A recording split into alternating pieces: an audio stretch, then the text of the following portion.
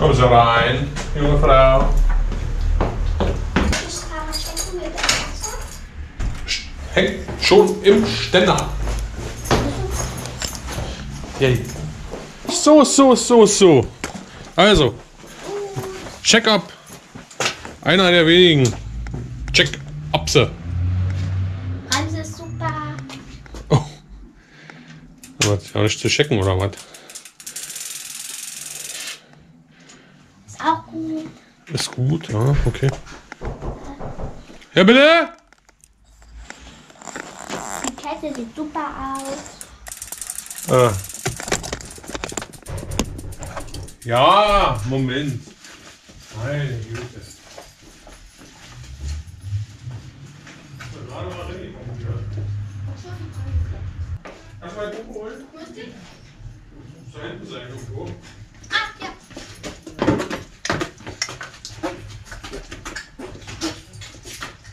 Genau. Ne. Können wir doch machen. Wir haben aufgemalt mit Kreide und dann sollten wir mit den Korken so bam und immer so eine Bam getreten und ich habe mir so bam und dann daneben getreten. Dann ist mit den Korken so. Ja, natürlich weiß ich das noch. Das ist ja die... Warum soll ich das nicht wissen? Bin ich schon so alt? Wirklich schon so alt auf dich? Nein. Äh, hier los? Ob wir das mal wieder spielen können. Was ist mit der los? Klar, ich das noch. So, was haben wir denn jetzt Das hier? ist alles super. Anouk hat alles gecheckt schon, hat sie gesagt. Alles in Ordnung? Äh, ja, So, schon. dann nächste Mal bitte. Moment. Hier. Wir haben nämlich eine wunderbare Checkliste, die hat eine ehemalige Praktikantin von mir verfasst. Ja, das war ihre Aufgabe bei mir. Ich habe ja ab und zu auch sogar tatsächlich auch schon Praktikanten und ich habe auch schon Lehrlinge hier gehabt und auch ausgebildet tatsächlich und mit Erfolg. Also wir haben schon tatsächlich, auch wenn ich offiziell kein Ausbildungsbetrieb bin, bin ich sehr stolz darauf, dass sogar die Lehrmeister von denen hierher kamen zu mir und mich belobigt haben für meine sehr gute Arbeit, die ich geleistet habe und somit sogar Problemfälle äh, bei Problemfällen es geschafft habe, dass sie dann letztlich doch ihre Prüfungen gemacht haben, mit Erfolg abgelegt haben. Insofern ist es nicht ganz verkehrt, was ich hier mache. Also Was unterrichtest? eingeschickt. Reifen sind gut. Reifen sind gut, kannst du ja noch gar nicht wissen. Also, Doch, sie haben. und eine Aufgabe war halt von deiner, die ich einer Praktikantin gestellt habe, dann, sie sollte eine Checkliste erstellen, was man dann macht als Abschluss, nachdem, genau, als Test, nachdem sie hier das Praktikum gemacht hat, sollte sie mir eine Checkliste mal anlegen und das hat sie sehr gut gemacht. Und das gehen wir jetzt mal durch zusammen. Du liest laut vor. Ja, erstmal den Punkt 1 und wir arbeiten es dann synchron Kette? ab. Ja. Checkliste. Ah, Nummer 1, Kette. Verschleiß. Kette auf Verschleiß prüfen. Okay. Nicht Also erstens, gut, wir sehen gleich, das ist der Punkt 2 wahrscheinlich da. Spannung. Kettenspannung. Genau. Wir sehen gleich, die Kette hängt hier. Die Kette hängt hier ganz schön durch. Und wir sehen, die Kettenspannung stimmt schon mal nicht. Was ist Punkt 3? Da stehen ja drei Punkte bei Kette. Eigentlich stehen da vier Punkte. Vier Punkte. Her. Raus damit. Säuberung. Genau. Also, Punkt 1 war Kette auf Verschleiß prüfen. Dazu haben wir eine Verschleißlehre. Und Nummer 3 ist Felde oder ähm, Fettig oder sowas. Fetten. Habe ich das Fett? Das ist die Verschleißlehre. Mit der Verscha Ver Verschleiß. Mit der Verschleißlehre prüfen wir jetzt. Prüfen wir jetzt natürlich die Ketten, die Kette auf ihren. Verschleiß. Sieht gar nicht so oft benutzt aus. Naja, damit passiert ja auch nichts. Ach so. Du hältst jetzt die Verschleißlehre dort in die Ketten, zwischen die Kettenglieder rein. Und zwar Damit? hakst du erst die Teil ein, so, klack, und dann lässt du die Nase reinfallen. Und du guckst mal, wie weit die Nase reinfallen kann. Also einfach irgendwo. Rein von oben natürlich. Hinten rein. Genau. Und? Geht nicht rein, ne? Ist das zu eng? Ja. Also ist sie noch schön eng, ganz genau. Und wenn die äh, Verschleißlehre nämlich nicht reinfällt, sozusagen, dann ist die Kette Durch. auch noch nicht zu tauschen. Erst wenn sie reinfällt, wenn sie ganz lang ist, dann passt die natürlich locker rein. Mach mal die andere Seite. Von der Verschleißlehre die andere Seite. Dann hast du mal zwei Seiten. Auch nicht. Wunderbar. Also, Zecke.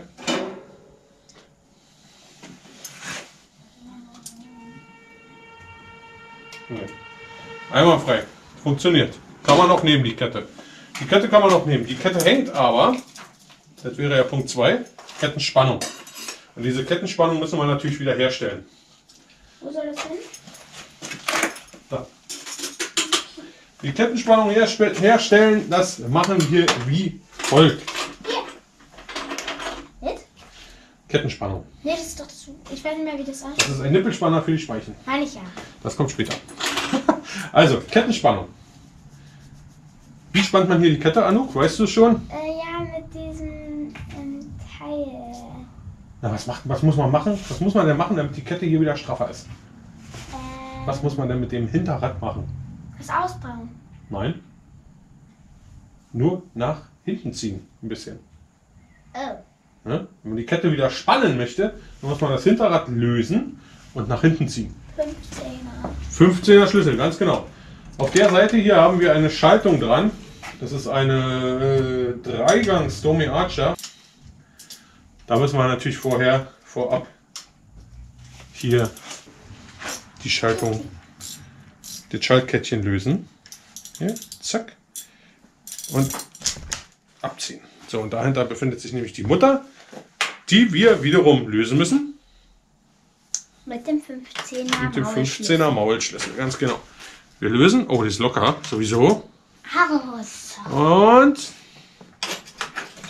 zack. Ich drücke ein bisschen rüber hier. Hier vorne. Und schraube wieder fest. Ich gucke schon mal. Also fettigen. Muss man es fetten oder soll man gucken, ob es gefettigt ist? Erstmal müssen wir die, das Hinterrad jetzt, nachdem wir die Kette gespannt haben, Einschauen?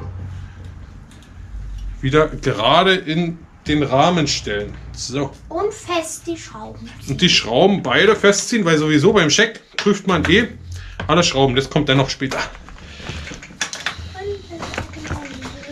So.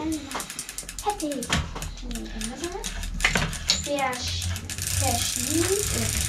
Verschleiß. Haben wir geprüft. Sauber. Spannung haben wir geprüft.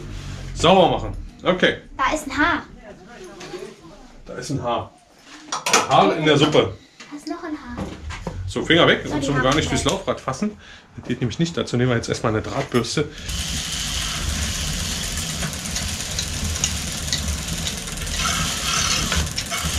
Also die Kette ist nicht wirklich groß dreckig. Tatsächlich. Überhaupt nicht und auch nicht rostig. Das hält sich wirklich in Grenzen hier.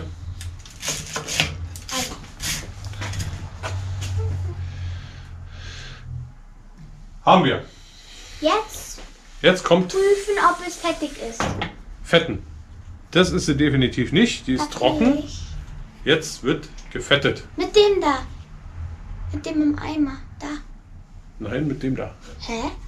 Achso, stimmt, das ist was für die. Ähm, Das die willst du Waage. das machen? Ja. Ärmel hochkrempeln. Beide. Du weißt ja. Ja. Du hältst es hier oben rein und drehst dann ganz vorsichtig an. Und drückst dabei. Ist schon offen? Ist, ist offen. Ja. Was soll man damit? Da muss noch was auf denn. Ja? Okay. Wir sind noch nicht fertig hier hinten, deswegen. Na das. Äh, hier Da oben, stimmt. ja. Hey, da kommt nichts. So. Achso, okay. Halt mal fest mit einer Hand, mit der anderen Hand dreh. Genau. Dreh, dreh, dreh, dreh. Weiter, weiter, weiter. Na, schön oben rauf auf die Kette.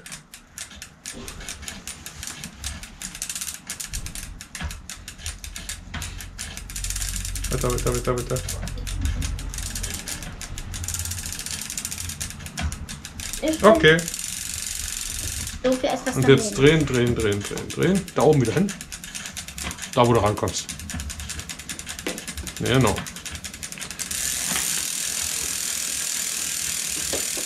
Nimm mal einen kleinen Lappen. Kannst ruhig oben lassen, weil jedes Mal, wenn du dich dreckig machst und deine Ärmel wieder anfasst, sind sie hinterher schwarz. Also lass dich ruhig oben. Nehmen wir einen Lappen und machen dieses Verteilen? überschüssige Fett. Erstens wird es mit dem Lappen verteilt und das überschüssige Fett geht dann auch weg. Okay.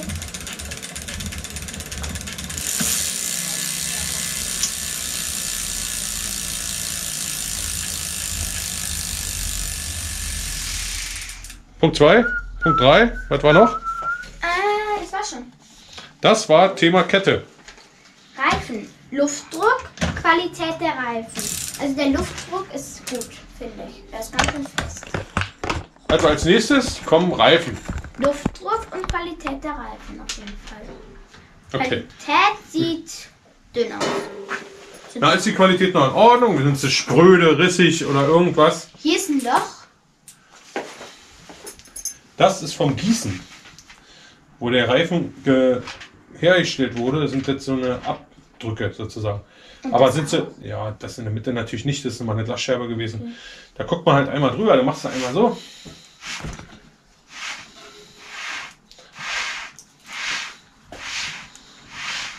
So, und jetzt guckst du den Reifen mal an. Und wenn der irgendwo, also ich kann dir schon sagen, der sieht eigentlich gut aus. ne? Ja, ich aber ich dachte nur deswegen. Ich gucke mir den hinteren Reifen an. Und auch hier sind keine großen Scherben. Erstens sieht man dabei gleich Scherben, ob welche drinstecken, irgendwelche Steinchen, Scherben etc. Die muss man dann natürlich gleich mal rauspulen, bevor sie dann sich durcharbeiten durch den Reifen. Zweitens sieht man natürlich, ob der Reifen irgendwo aufgeplatzt ist, ob er irgendwo Risse hat. Ja, Also wenn ich ein Mikroskop brauche, dann ist es kein Defekt. aber das ist was. Ich sehe da nichts. Da ist doch was. Wo denn? Was denn? Da passt du gerade drauf. Was denn? Na da. Na, da ist gar nichts. Da ist was. Na, nein, Anouk, bitte. Es, Atomarforschung betreiben wir hier nicht. Kernphysik und Atomarforschung. Das ist alles super. Luftdruck ist super. So. Luftdruck ist super, können wir gar nicht sagen. Wir müssen dazu eine Pumpe anschließen. Also musst du dich mal bemühen, diese Pumpe, die dort ist, einfach mal anzuschließen und einmal zu pumpen. Weil, Oh Gott, ich habe Angst, dass er platzt. nein, Luftdruck kann man so überhaupt nicht sagen, ob der gut ist. Was brauchen die an Luftdruck? Die Reifen? Weißt du das? Ähm, 2,5. Weil das ist ja der Ultrasport. Oh, Der hat einen maximalen Luftdruck von 8 Bar. okay, das will ich machen.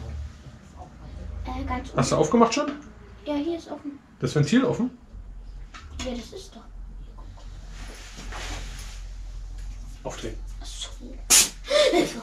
Puh, das stinkt ganz schön.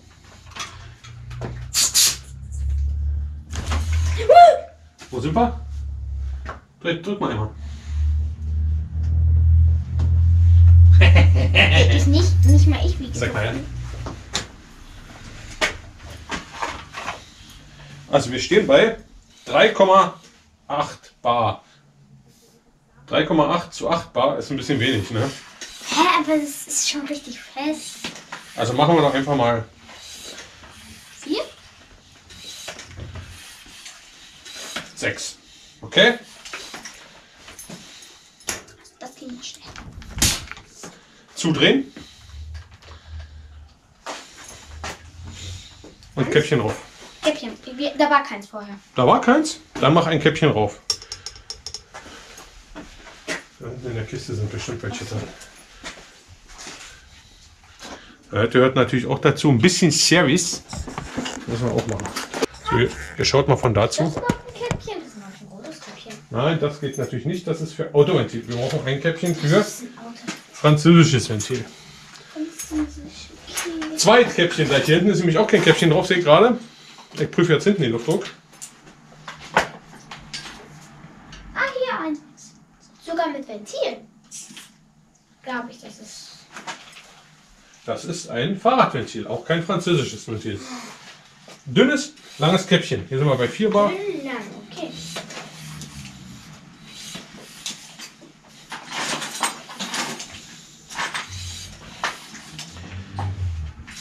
Okay.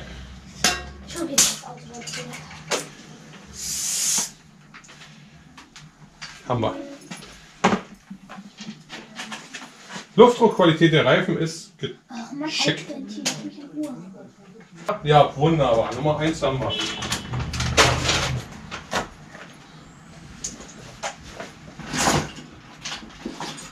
Eins haben wir schon mal. Noch jetzt.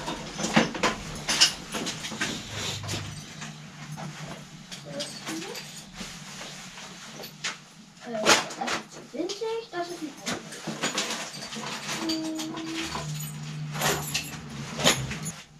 Nummer zwei. So, weiter. Nächste Aufgabe. Äh. Okay, Reiten haben wir. Lagerspiel. Lagerspiel. Ja, ganz wichtig. Wenn die Räder wackeln. Hier wackelt, Hinterrad. hier wackelt überhaupt nichts. Wackelt das Vorderrad irgendwo? Die euch einfach gut. Guck mal so. Du nimmst, hältst den Rahmen fest, bei dir die Gabel und wackelst hier so hin und her. Wenn es wackelt, also so, so lang. Ne? Scheint fest, ne? Ja. Und hier ist sogar das Problem, das ist zu fest. Ne? Hier. Das rollt gar nicht richtig frei. Also es rollt ein bisschen und dann bremst es ziemlich schnell. Um dem entgegenzuwirken, kann man einen Konusschlüssel nehmen und ein bisschen den Konus öffnen. So dick sind die? Achso, das sind mehrere. Achtung. Weil darüber hat er sich nämlich auch beschwert, der Kunde. Was ist denn er? 1 Beleg. Beleg. Belag. Belag. So, ich habe minimal gedreht und es rollt schon echt besser. Achtung, kontern, auf kontern.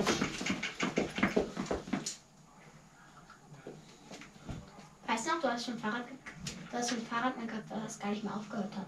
Ja, so gut kriegen wir das hier nicht hin, aber das ist schon besser. Das ist schon wesentlich besser hier. Okay. Wie viele sind es? Zwölf. Okay, sind wir Nummer vier. Perfekt. So, das rollt wieder. Also, wenn die Kohlen dann fest genug sind, beziehungsweise locker genug, zu fest dürfen sie eben auch nicht sein, dann ist die Aufgabe erfüllt. Dann brauchen wir jetzt, was ist? Felge, Felge? VS, Bremsbelag. Felge versus Bremsbelag. Also Bremsbeläge prüfen. Bremsbeläge prüfen, machen wir eine Sichtprüfung. Wir schauen, ob noch genügend Bremsbelag drauf ist. Ja, da guckt man von oben auf die Bremse und dann sieht man diese Riefen. Siehst du die? Ja, sind die auf der anderen Seite auch vorhanden? Ja, aber die sind etwas nah, finde ich. Die sind etwas nah. Darum kümmern wir uns denn.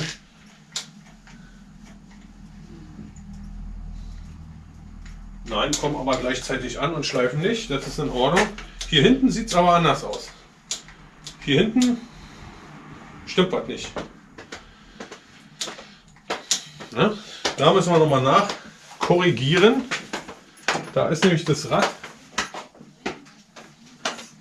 Zwar unten mittig im Rahmen, aber hier oben ist es nicht mittig Auf im Rahmen. Zehner im Boot. 15er habe ich hier. Ich meine für den Bremsen. Bremsbelag. Äh, was war nochmal die?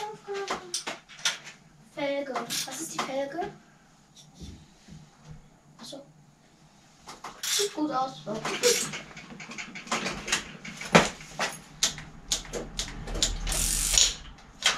So, Das voll gut. das rollt gut. Das sitzt gut. Felge.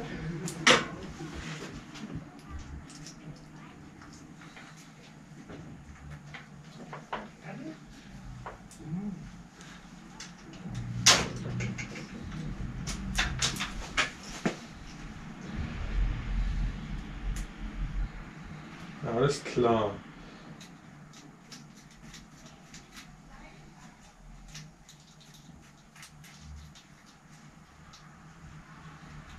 Okay. Felge sieht gut aus. Hm. Was muss man denn bei der Felge da sehen eigentlich? Man da beobachten. Dass sie gerade läuft auch. Zum Bremsbelag hin. Und das solche und guck mal da, siehst du? Den Abstand, wie er mal kleiner wird, mal größer. Ist das schlecht? Das heißt, da ist eine ganz kleine Acht drin. Jetzt brauchen wir diesen Schlüssel. Na, ist wohl klug, oder? Jetzt gucke mal bei dem. Ja, er hat auch eine Acht drin, habe ich schon gesehen. Ja, okay, stimmt. Ich liebe das.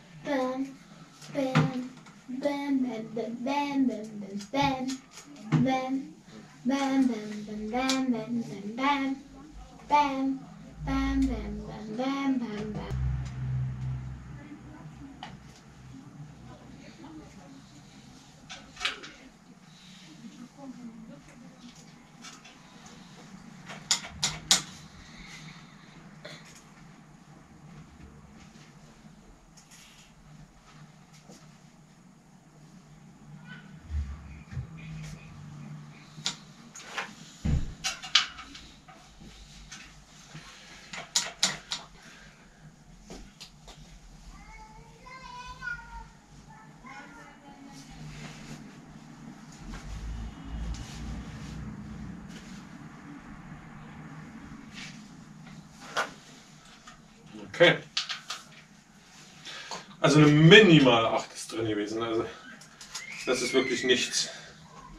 So. Was ist der nächste Punkt auf der Liste?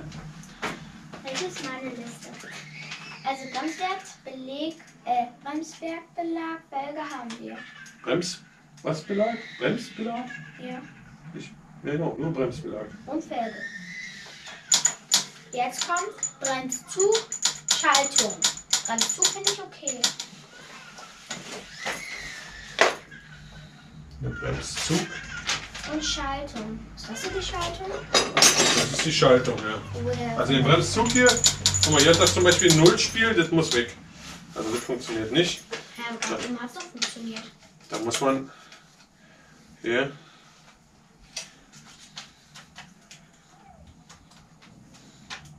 ein bisschen spannen.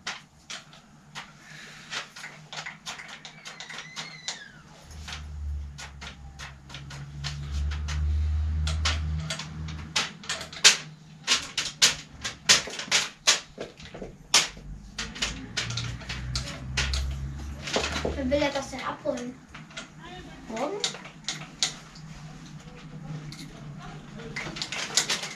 Perfekt. Okay. Bam.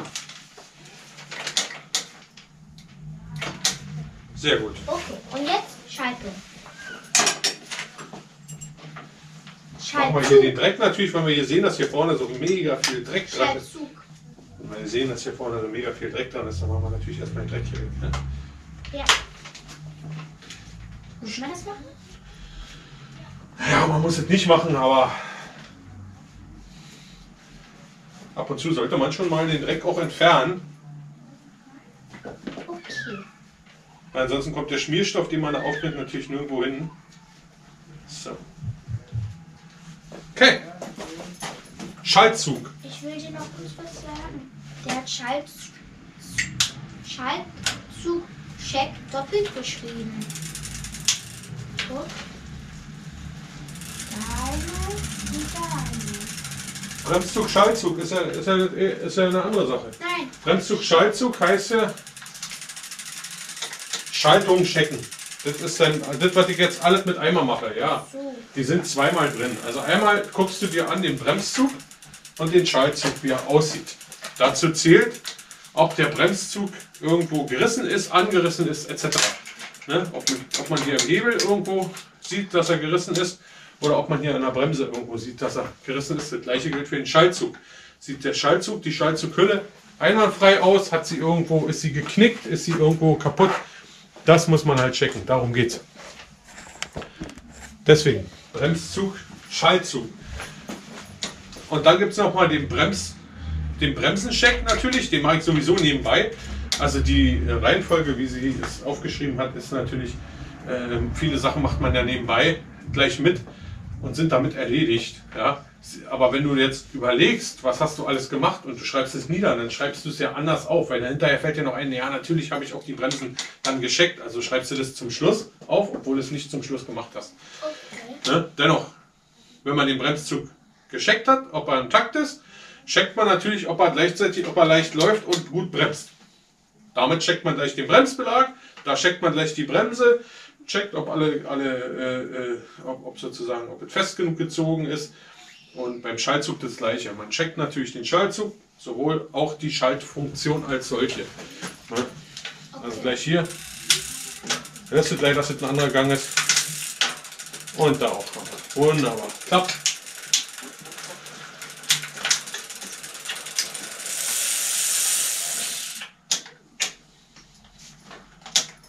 Perfekt.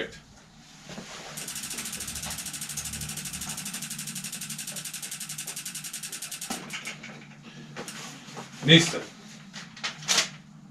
Laufräder, gerader Lauf. Das haben wir sogar gemacht schon. Fester Sitz. Äh, fester Sitz. Genau, das festen Sitz, den haben wir gemacht, weil wir die Achsmutter festgeschraubt haben. Hier hinten schon. Den geraden Lauf haben wir gerade ja geprüft, als wir die Bremse schon am Wickel hatten. Klingelständer. Du machst den Ständer, ich mach die Klingel. Ich mache jetzt den festen Sitz. Erstmal arbeite ich Punkt für Punkt ab, nämlich den festen Sitz vom Vorderrad. Den müssen wir natürlich prüfen. Indem wir einmal, oh, der ist fest. Okay. Einmal natürlich prüfen, ob das Rad Ich fest dachte, die beiden festen Sitz, den Sitz da. Den, ähm, ähm, Sattel.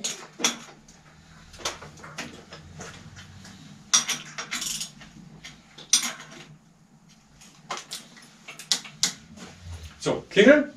Das ist so, check. So einmal wie klingt. Ständer. Ständer prüfen machen wir dann am Ende. Macht man das überhaupt? Genau, erstmal guckst du, ob er so, ob er. Zum Beispiel beim Ständer ist wichtig, beim Ständer-Check, auch, das sind einfache Sachen, aber die sind ess- essentiell. Die Klingel muss funktionieren in Berlin, das ist Fakt. Die darf nicht locker sein und sie muss klingen. Ne? Beim Ständer ist es ganz wichtig, dass der Ständer, wenn du ihn hochklappst, auch genug Spannung hat, dass er oben bleibt und nicht gleich wieder runterfällt oder so. Ja, zum Beispiel, das wäre der Ständer-Check. Und natürlich die Höhe vom Ständer. Und die Höhe vom Ständer, ob die richtig eingestellt ist, findet man natürlich nur raus, wenn man das annimmt, abstellt, Ständer runter, Vorsicht. Und dann natürlich das Rad hinstellt und guckt, ob es sicher steht. Steht sicher. Ja? Ständer hoch und wieder rein. Das war der Ständercheck. Kann man abhaken. So ist es gemacht. Natürlich überprüft man in dem Zuge gleich, sind alle Schrauben festgezogen. Tret, Tretlagerspiel. Die Pedalen also. Oder das wollte Nein. ich auch noch sagen. Erstmal überprüft man die Schrauben, wie gesagt. Und bei Bedarf zieht man sie nach. Haben wir Bedarf? Ja, siehst du. Ein bisschen locker sind sie. Okay. Alles, was locker ist, kann irgendwann sich lösen und auch klappern. Und einfach nerven. So, nächster Punkt war was? Ähm, Tretlagerspiel prüfen. Tretlagerspiel prüfen. Das Tretlager befindet sich hier, verbindet die linke und die rechte Kurbel miteinander und sorgt für eine reibungslosen, im Idealfall reibungslosen, äh, äh, Dreh, für eine reibungslose Drehbewegung Papa, da drin sind ganz kleine Kugeln, oder? im Antrieb. Ganz genau. Da drin sind ganz kleine Kugeln, ganz viele Kugeln, die arbeiten ganz ordentlich miteinander, aber nur, wenn es eben hier kein Spiel gibt. Hier gibt es kein Spiel, Aber das hat er so aufgeschrieben. aber hier gibt es kein Spiel. Wir haben aufgeschrieben, wir haben es gecheckt gerade. Ja, okay. Ja? Mülltonnen. Beton, nee. Im gleichen Atemzug prüfen wir, ist wahrscheinlich der nächste Punkt, natürlich auch, dass die Kettenradgarnitur, die Tretkurbel auf ihren festen Sitz am Tretlager. Und da ist ein bisschen Spiel, siehst du? Fest. Alles wieder schön festschrauben. Okay. Was ist der nächste Punkt auf deiner Liste? Pedalspiel prüfen. Pedalspiel, genau. Ob die fest sind. Pedalspiel prüfen, gucken hier, ob die noch fest sind. Und ich das drehe. okay ist und ob die sich drehen, ohne dass die Kugeln knarzen. Denn auch in Pedalen finden sich Kugeln, die sich permanent drehen. Dann würde sich das nicht drehen. Mit jeder Umdrehung arbeiten diese Kugeln und die sind dann irgendwann durch. Und da muss man sie halt tauschen. Ne? Aber das ist noch okay. Das sind zwar keine teuren Pedalen hier. Also man hat schon Spiel.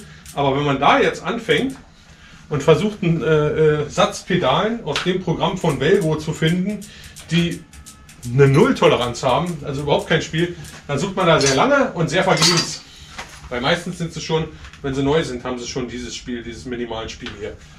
Also die gehen nochmal. Da muss man dann auch so sein und muss sagen, okay, das kannst du schon nochmal fahren. Überprüfen wir in einem halben Jahr wieder. Und dann ist gut. Wir prüfen jetzt, ob die Pedalen fest in den, in den Kurbeln sitzen, in der Kettenradgarnitur.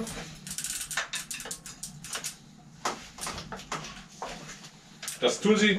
Wie gesagt, Lagerspiel ist nicht. Das Lager ist auch nirgendwo rausgedreht. Das kann man sehen, die Lagerschalen, wenn die sich von selber rausdrehen, das kann auch mal passieren bei älteren Rahmen.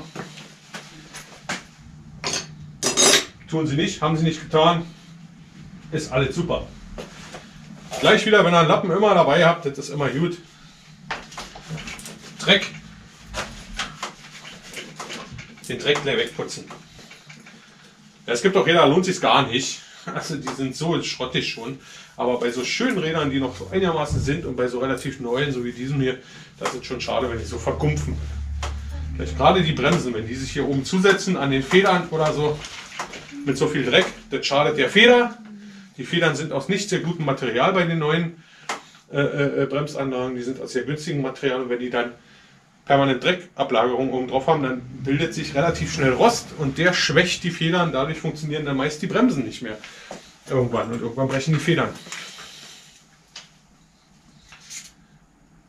Gibt einen Tropfen Brunox, kriege ich hier aufs Gelenk von der Bremse.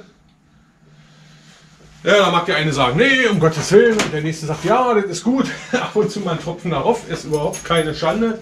Manche legen ihre ganzen Räder komplett in WD-40 ein. Das finde ich viel schlimmer. Ja, das muss man nicht machen. Das WD-40 ist zum Putzen gut.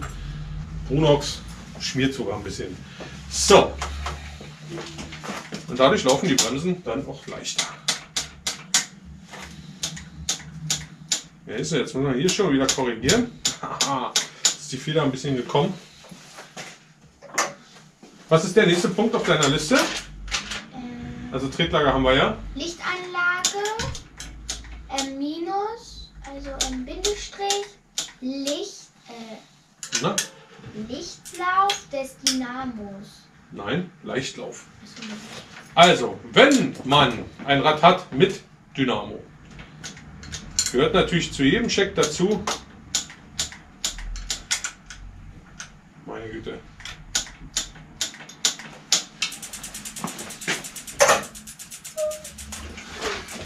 Wenn man ein Rad hat mit Dynamo-Beleuchtung, also mit Beleuchtung, dann gehört das natürlich zu jedem Check dazu, dass man die Dynamo-Leuchtung auch durchcheckt. Hier ist nichts dran, deswegen kann ich das jetzt nicht zeigen, aber ihr wisst selber, wie man Dynamo checkt. Dynamo anmachen und so weiter. Ganz wichtig, schauen, ob die Dynamo-Kappe oben, also diese Laufrolle, die auf den Gummi trifft, dass die noch intakt ist, dass die keine Ecken und Kanten drin hat, ja, und dass sie sich leicht dreht und gleichmäßig dreht. Und dass der Dynamo nicht laut ist. Also wenn der so, so richtig laut ist und rasselt, das haben auch manche, dann ist das nicht gut, dann schlägt nämlich die Welle innen drin. Und dieses Schlagen von der Welle macht auch den Reifen kaputt. Und genauso macht auch eben eine defekte Laufrolle oben, eine defekte Dynamo-Kappe, äh, äh, macht auch den Reifen kaputt. Deswegen achtet darauf, dass die in Ordnung sind, dass die Dynamos leicht laufen. Bei Namendynamo achtet darauf, dass die Stecker gut angeschlossen sind, die Kontakte richtig sitzen. Können wir alles nochmal machen mit einem anderen äh, Fahrrad, mit, äh, mit einer Beleuchtung. Kommt alles nochmal zu einer Sache. Kommt immer wieder dran, immer wieder und immer wieder und immer wieder. Hier ist ja eh immer alles Wiederholung, Wiederholung, Wiederholung. Nächster Punkt. Äh, von Frakte. Kontakte. Äh, Genau, das sind die Kontakte zu, bei dem Dynamo, beim Licht. Natürlich stimmen die. Sind die oxidiert, sind die nicht oxidiert, sind die isoliert, ja, auch ganz wichtig. Äh, äh, äh, hängen, sind die Kabelschuhe noch fest dran? Also wenn man so Stecker hat, sind die fest dran? Haben die irgendwo, sind die Kabel irgendwo brüchig? Das alles überprüfen. Nächster Punkt.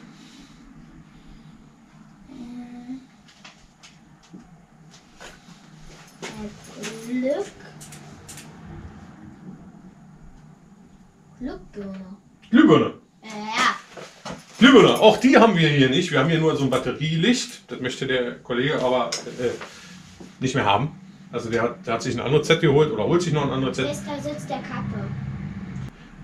Und ähm, natürlich, dementsprechend sind die Glühbirnen in Ordnung. Falls also irgendwas nicht funktioniert am, am, und der Dynamo ist in Ordnung, der läuft leicht, der macht Strom etc. Also man kann eine, eine Vergleichsglühbirne, sozusagen eine Testglühbirne ranhalten an den Dynamo. Das sieht dann so aus hier. Also so auf altes System habe ich hier, hält man dann am Dynamo ran, zack, am Dynamo, am, am, Plus-Minus-Pol und dann sieht man ja, wenn die dann leuchtet, ist der Dynamo okay. Dann kann man weiter suchen bei den Kabeln, sind die Kabel brüchig, tauscht man die Kabel aus, dann geht man weiter zu den Lampen, sind die Lampen, sind die Glühbirnen in Ordnung, muss man die Glühbirnen tauschen. Also ist ja alles eine Sache, die macht man hintereinander weg. Aber man darf nicht einen Teil auslassen, ansonsten dreht man sich da im Kreis. Weiter. Schutzblech, fester Sitz. Schutzbleche, auch was, was wir hier an diesem wunderschönen Rad ja nicht haben. Schutzbleche, das Schlimmste, was passieren kann, Schutzblechschraube ist locker und das Schutzblech klappert die ganze Zeit um einen rum. Es ist ein Albtraum für mich. Sobald sich irgendeine Schraube löst, meist hier unten an der Strebe, nachschrauben. Nachschrauben, kontern, Loctite rein, weiß weiß ich, irgendwie macht das Ding fest. Nicht mit, äh, ach, da ist schon eine Schraube raus, warten wir, bis noch eine rausfällt und dann mal irgendwann vielleicht mal ein Kabelbinder ran oder Gaffer oder eine Schnur oder Draht, was wir alles schon erlebt haben, mit was jetzt festgemacht wurde. Teilweise mit, mit, äh, äh, mit, ähm, äh, was waren wir mit so einem, äh, wie so ein Schal, so ein Tuch, hat er so ein Seidentuch in, in genommen, hat das einfach festgebunden, ja, dann klappert es nicht mehr so. Ja, ist aber keine Lösung, ja, und ist ja auch wenig Platz da unten, da kann man nicht alles Mögliche reinknoten. Es ist ganz einfach, nehmt eine Schraube, die sind dafür gedacht, die machen eine super Verbindung, so Schraubverbindungen sind echt toll, und dann mit einer, entweder mit einer äh, selbstsichernden Mutter von hinten, wenn genug Platz ist, kontern, oder eben mit Loctite direkt in den Rahmen reinschrauben, wenn ganz wenig Platz ist dann hat man ja keine Chance, um zu kontern von hinten, dann nimmt er halt Loctite, also schraubenfest auch in Hand. So, nächster Punkt. Schaltzugblech. Äh. Schaltzugcheck. Schaltzug-Check. Na, das haben wir schon gemacht, das haben wir vorhin schon gemacht, wie gesagt. Dazu gibt es nicht viel zu sagen. Schaltzug-Check. Spult einfach zurück, ne? Nächster Punkt. Also grundsätzlich gilt es, das muss man auch nicht, nicht sagen, alle Schraubverbindungen sind zu prüfen. Steuersatz etc. Also das war jetzt dieser kleine Scheck sozusagen. Alles, was locker ist am Rad, muss sowieso gemacht werden. Wenn der Steuersatz locker ist, fängt er hier vorne an zu klappern. Das kann lebensgefährlich sein. Das muss man überprüfen. Ne? Also, dann nehmen wir uns einen 32er Schlüssel und einen 30er. 32 unten, 30 oben. 32er Schlüssel oben, äh, unten, bei dem Steuersatz. Weil oftmals ist es ein 32er unten und hier diese obere äh, Konterschraube. Manchmal auch 36er. So, bei den 1 Zöllern. Den schrauben wir so lange.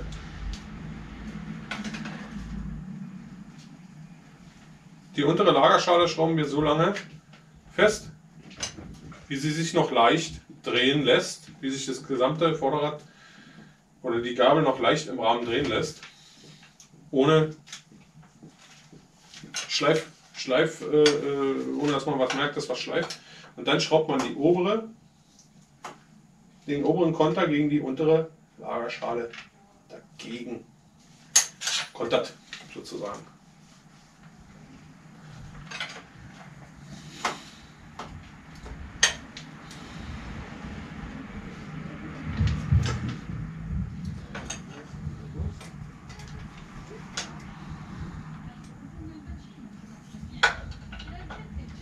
Das ist so ein bisschen so ein Präzisions, äh, so ein, wie soll man sagen, das ist wie so, ein, so eine Gefühlssache. Ja, jetzt läuft es gut. Aber es darf auch kein Spiel haben. Da hatte sich der Kollege nämlich beschwert darüber, dass hier vorne irgendwas locker sei. Und das war halt hier der Steuersatz. Deswegen muss man den Steuersatz überprüfen. Immer. Und ähm, wenn die Gabel wackelt, dann nicht, hat das nicht mit hier oben, mit hier oben, mit der Schraube zu tun, sozusagen, mit dem Vorbau, sondern immer mit dem Steuersatz hier. Steuersatz einstellen, hier unten. Wenn die Gabel im Rahmen wackelt, sind das die beiden Verschraubungen. Wenn man den Lenker in der Höhe verstellen möchte, also sprich den Vorbau mit dem Lenker, dann ist es hier oben diese Verschraubung, die sich hier unter dieser Abdeckkappe befindet. Wenn man den Lenker in der Neigung verstellen möchte, weil einem der Winkel vom Lenker etc. nicht zusagt, dann ist es hier unten, diese Verschraubung, hier unten. Da muss man daran gehen, da öffnen und dann festschrauben, wieder festschrauben. Wir schrauben im Moment nur fest, weil wir müssen prüfen, ob alle Verschraubungen fest sind. Das hier ist ein 6er Inbus.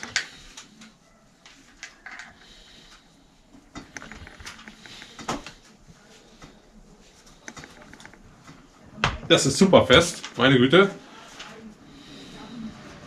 Den hier unten haben wir schon festgeschraubt. Hier oben nochmal nachschrauben. Der Schaltgriff war ein bisschen locker, den habe ich vorhin nachgeschraubt schon. Den habe ich schon, das ist mir gleich sofort aufgefallen. Das ist ja auch das Problem bei jemandem, der so schon, wenn man so, so viel Erfahrung hat, dann nimmt man so ein Rad, lässt es einmal fallen und weiß sofort, wo eine Schraube locker ist oder so. Und hier habe ich einmal angefasst, habe gesagt, oh Gott, der fällt da leer ab und habe das gleich festgeschraubt. Also hier auch immer darauf achten, bei diesen Daumenschalthebeln von Stormy Archer habe ich das schon öfter gehabt, dass die sich nach einer ganzen Weile hier oben die Verschraubung löst. Einfach nochmal nachziehen, nachkontern, dann ist es wieder fest. Was man dann auch noch überprüfen sollte bei älteren Rädern, ob die Griffe festsitzen oder ob die sich leicht runterziehen lassen. Wenn sie sich runterziehen lassen, hebt sie runter, macht mit Waschbenzin die beiden Lenkerenden sauber und macht neue Griffe drauf. Weil alte Griffe, die kriegt ihr nicht mehr fest, auch nicht mit Klebeband runter etc. oder irgendwas. Das funktioniert nicht mehr. Alte Gummigriffe und kosten ja auch nicht die Welt, macht die einfach fest. Schaut, dass die Bremshebel fest sind. Das prüfen wir auch nochmal. 5 mm Inbus drin. Alle super fest. Da, sehr geknackt. Nochmal drehen, nächstes Mal beim Checken, dann ist der Bremshebel ab. So. Was gibt's noch zu sagen? Wir sind fertig mit diesem Rad. An diesem Rad ist ja nicht viel dran zu machen, weil es ist natürlich ein Rennrad, Single-Speed-Rad, was auch immer. An diesen Rädern ist nicht viel dran. Man kann nicht viel machen, aber es ist gescheckt.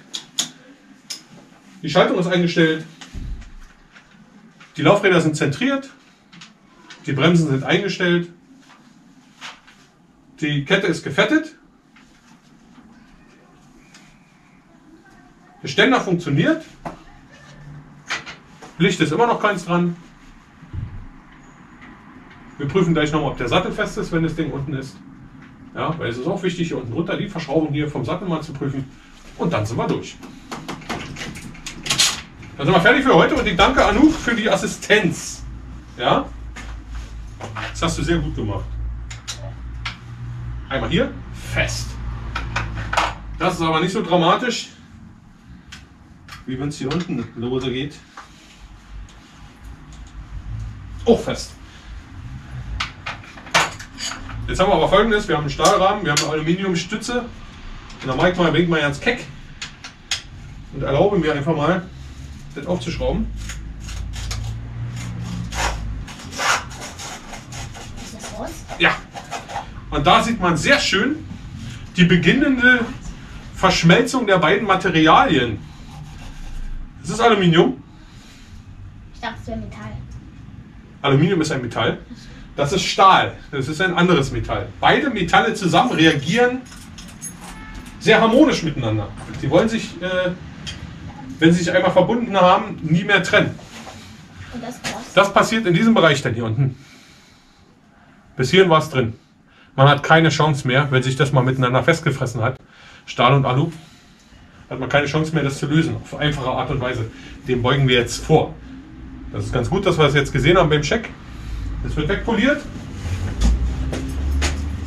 Wenn wir das wegpoliert haben, nehmen wir ein bisschen Fett, streichen das ein. Schau mal. Ja, es blüht dann, darunter fängt schon an aufzublühen. Weg. Ja, die Farbe ändert sich auch, das Material. Die Farbe vom Material hier und das ist auch ganz stumpf. Ne? Wenn du hier guckst, ganz poliert und da ganz stumpf. So, also wir haben es sauber gemacht. Jetzt nehmen wir Fett. Ganz normal Fett. Und reiben das hier unten ein. Schön mit Fett.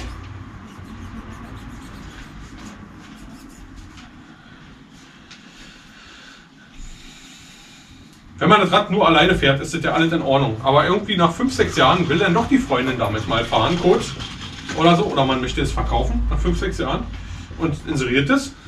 So wie mir das dann passiert ist vor einer ganzen Weile, ein paar Wochen. Ja, ein Fahrrad inseriert zu verkaufen. Und was ist passiert? Die Sattelstütze ließ sich nicht mehr bewegen. Jetzt ist Fett drauf. Jetzt kann das Ganze wieder rein. Fertig.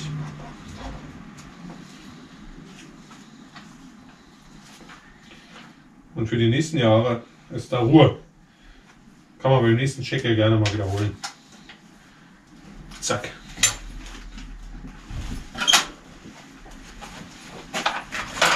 Damit sind wir durch. Ich bedanke mich für eure Aufmerksamkeit und hoffe, es hat euch gefallen und wir werden uns im nächsten Video wiedersehen. Also, gibt es noch was zu sagen? Nein, auf Wiedersehen. Auf Wiedersehen. Alles Gute. Ciao. Macht der gut. Bis dann. Sagt der Tommy.